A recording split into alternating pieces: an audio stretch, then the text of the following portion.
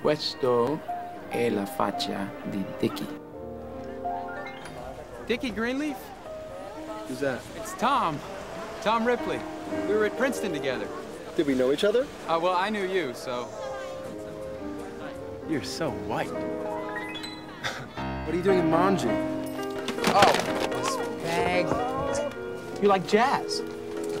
Love jazz. We're going to Naples. It's a club. It's great. It's it's great. You're gonna love it.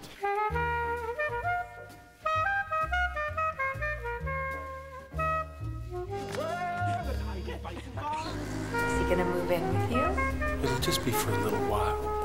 No, I like him. Marge, you like everybody. Marge. You like everybody.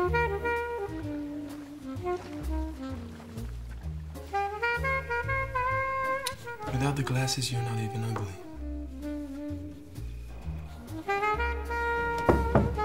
live in Dickie's house, eat Dickie's food, wear his clothes.